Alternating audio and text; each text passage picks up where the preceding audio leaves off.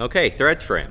If you need to manually cut the tr trim, you use the scissors button here. Um, and it'll give you two options. The first one will spin the main shaft and cut the thread underneath and then grab the thread and pull it back.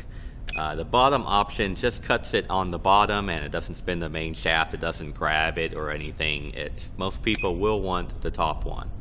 So when you need to do a thread trim, you probably want thread trim when you're doing manual or when you're testing or something like that.